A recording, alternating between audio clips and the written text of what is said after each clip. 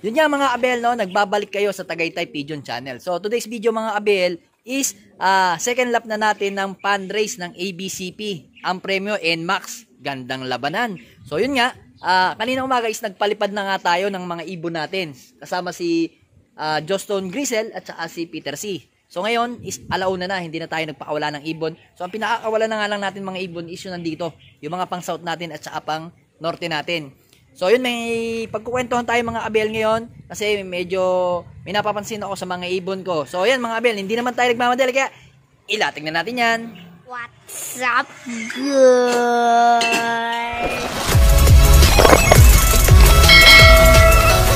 So ito mga Abel, nagpakawala tayo ng dalawang ibon. Yan. Dalawa-dalawa lang pinakawalan ko, bale nakilang set na ba ako? Bale pangatlong set na tong ginagawa ko.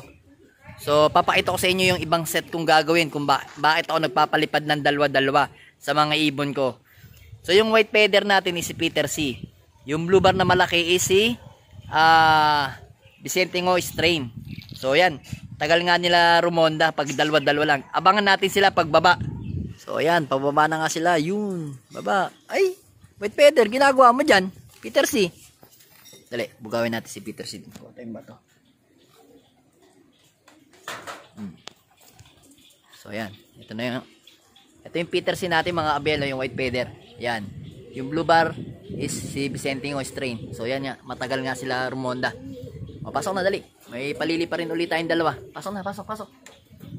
Pasok, pasok, pasok. Yun, pumasok na. So, kukuha nga tayong ibon sa loob. So, ito na nga mga Abel. Kumuha na tayo ng dalawang ibon ulit. Napalili pa rin natin. Ito yung sinasabi ko sa inyo kamukha ni Balileng. Si Balileng, nabulol pa ako. Si Balileng po is wala na, patay na. Pinatay na po natin siya kasi nga nahihirapan na siya. So, ito nga yung kapatid niya. So, ito nga is half na kapatid ni Balileng. So, ito nga si Peter C. Yung kapatid ng White Feather. Ayan o. Dalawa nating ibon. So, papakawalan nga natin dito. Tara.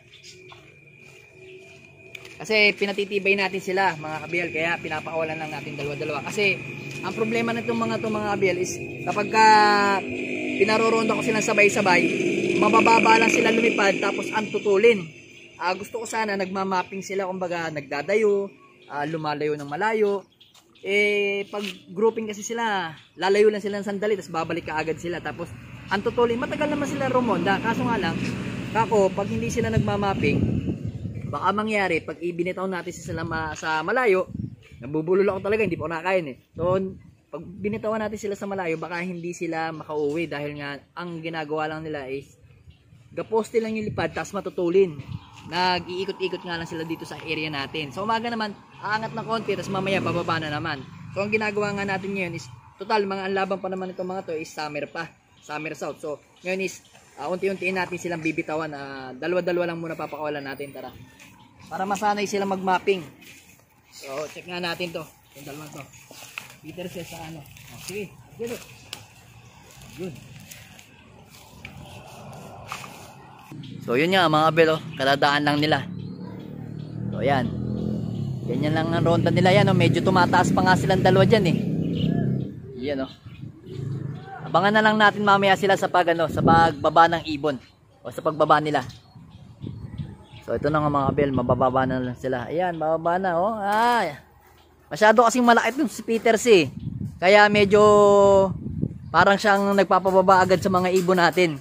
So ito nga, um, isang dakilang pasaway na si Desmet, na kapatid ni Balileng.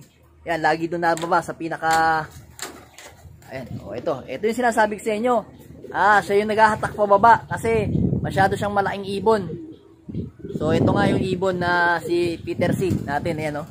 Halos nagda tri-bar. So pasok na. Oh, pasok.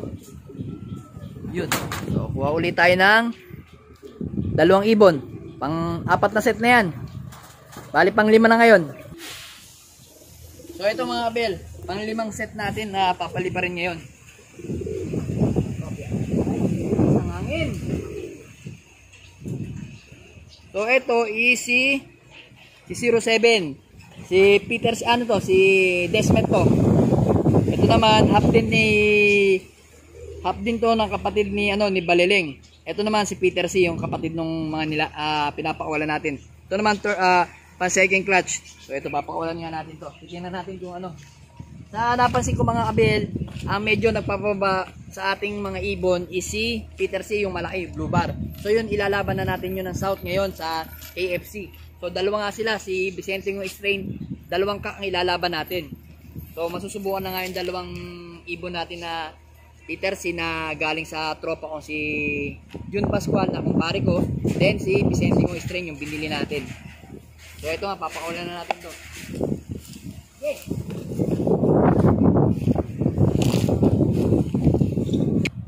So ito na mga abel, bumaba na yung isa nating Peter C. Asan na yung isa? Sabangan natin sa pagbagsak yung isa. Yan. So, may napapansin ako dito sa ibon natin. So, kung napansin nyo nga, is tinanggal natin mga line natin ng Peter C. Ay, ang line ng ano natin. Ayan, ito line ng Desmet natin, no? Parang hindi ko talaga ano ang Desmet. Medyo may ugali kasi ang Desmet, eh. Kaya, inalis natin. Magaling ang Desmet ko sa magaling. Kaso, basta meron siyang ano, meron siyang problema sa ugali. Ugali at saka sa health, ah, sa ano natin, sabihin na lang natin sa sa pagiging ano nila, sa paglipad at saka sa ano, itong mga to. Siguro, naging masyado ng puro yung ginagawa ko, yun, yun si Desmet to. Nagiging puro na siguro yung ano nila, kaya medyo sakitin sila. Itong ibon na yan, yan. oh. Medyo mababa, bumababa kagad. Kaya medyo bumababa agad yung ibon, ewan ko. Parang meron siyang, kaya medyo tinanggal natin, o tinanggal na talaga natin sa loob natin ang line ng Desmet. So, yan na nga lang mga yan ang natitira sa atin. Bali, apat na Desmet ang natitira sa atin dito. Sa loob natin dito sa may south natin at meron tayong isang Desmet dito. Asa may isang Desmet natin dito. Isang Desmet natin dito, yun, yun yung nalimlim na yun, si Tutubi nandun. Kulay itim. Yun, nandun sa kabila yun, yun, yun, nandito si Tutubi. Yun na lang. Tapos pagkatapos pagka naubos, wala na talaga tayong mga desmet. Ayan. So yan. Mag ano tayo, mag ilang set na ba? Anim. So titingnan natin kung sino ang pipiliin natin. So ito naman mga kabel. Kinuha ko na yung pang-anim na set natin. Okay. So ito mga kabel. Itong white feather na to, si Dr. Ideto. Dr. Ive. Yan. Then ito, eh, sino ba to? Ah, si ano to? Si Japan. Japan kulit to ni ano ng tropa natin. So ito nga yung gift bird sa atin. Susubukan nga natin sa darating na summer. So papakawalan nga natin to dito. Tara.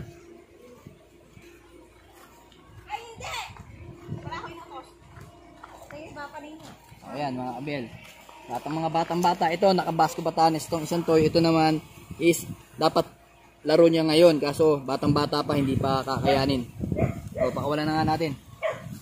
Mga abel, nung pinakawalan natin ng last set is matagal rumonda kasi may nakasabay silang brown. So naghataan nga sila papuntang San Fernando. Hayaan na lang natin. At least mas maganda yun. Nagmamapping sila. Hayaan natin kung bahala sila kung madadagit sila. So yun nga. Pero sa tingin ko hindi naman madadagit yun eh. Mga bata lang yun pero sumasama tapos biglang babalik yun. Kabisado ko na yung mga yun. So ito, mga abel, papakita ko na sa inyo yung mga kinukondisyon nating ibon. So ito na nga mga abel, no? Makikita nyo yung ipot niya. O, ipot ng ibon natin, no? Ayan, no? O ha? O ha? Mga ano yan, mga buong mga ipot nila, hindi sila basa. So ito nga yung dalawa nating ibon. Nagpapahinga dito sa taas. Ay, baba nga kayong dalawa dito, dito. Ito kayo. Pakita kayo sa baba. Yun. Ito ka dito, Peter. Yan, si Peter. Oh. Yun, no? Ayan, yung dalawa natin lalaban mamaya, mga kabel. So, kondisyon na, kondisyon sila. So, yun mga kabel, na bale, sana maging maganda ang pauwian natin bukas. So, kung mapapansin nyo, sobrang lakas ng hangin dito ngayon sa area ko. So, kaya ayaw kong pakawalan muna itong dalawang to mahirap na baka madisgrasya. Kasi maganda yung standing nila sa NMAX Fundrace. So, malalaman niya natin bukas kung magiging mas lalong gaganda yung kanilang uwi. Kasi, based naman sa katawan nila o sa kondisyon nila, okay na okay. Ayan, mga abel, makikita nyo o maririnig ninyo na talagang nasa kondisyon ng ibon natin. So, mga abel, sa palagay ko lang, no, ah etong ibon na to, si Peter, is consistent lang. Talagang hindi siya matulin. So, malalaan nga natin yan sa derby. So, ito, medyo matulin din eh. Medyo may pagka matulin to si Peter eh. Eh, si yan eh. Si Joston eh. So, abang-abangan na natin yung mga yan. Bukas, mga kabel, no? So mga Abel, no, mag-shoutout muna tayo sa mga viewers natin, sa mga solido nating mga kabel dyan. So, shoutout nga pala kay DGR Loop TV from Daet Camarinos, Camarinos Norte. Nabulol ako. Shoutout din kay Discapable, Discap, ano, Discapable Loop TV. Ayun. Ah, about naman po kay Pablo Chad Chad, kay Desmet Balileng is patay na po siya. Pinatay na natin siya kasi nga wala nang gamot sa kanya kundi ang kutsi. Kutsilyo. So yun nga kaya pinatay na natin siya. So eto mga Abel. Shoutout kay John Paul Casio. Kay Denmark Soliben. Shoutout sa iyo. Shoutout kay Sunbipe Patolot. Shoutout din kay Rose Ann Arbis. J-Loop from Nagcarlan, Laguna. Shout out din kay Mike Makoy Loop from Singapore. Salamat po sa inyo. Shout out din kay Rem Loop. Happy flying po. Habang nagsashoutout tayo, nakikita niyo yung ibon natin na talagang ah, banding natin yung mga yan kasi mababait naman itong mga ibon natin. Hindi sila masyado may ilap. So, shout out nga pala kay Di Dian Jawen Bayan. Lagi natin yan eh. Solid supporter natin yan. Shout out kay Alexander Antonio from ano to? Overfly Loop.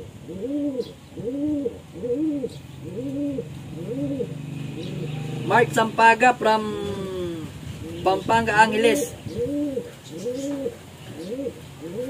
MRD Loop TV. Shoutout sa iyo. Shoutout din kay Randy Redor. Yan. Solid na supporter natin yan. Pati kay ano, kay Aldrin Kiambaw. ARQ Loop. Shoutout kay RJ. Ito pa kay Norms Pigeon Loop TV. Shoutout sa iyo. So yun muna mga Abel no. Ah, abangan ninyo bukas. Ah, titingnan natin kung kung magiging maganda ang pawian natin dito sa ibon natin. Tsaka good luck din sa mga lahat na nag-entry ng ah NMAX sa ABCP. So yun mga Abel no. Hanggang dito na ang video ko. Maraming maraming salamat po sa inyo. Please like and share and subscribe. Ingat at God bless.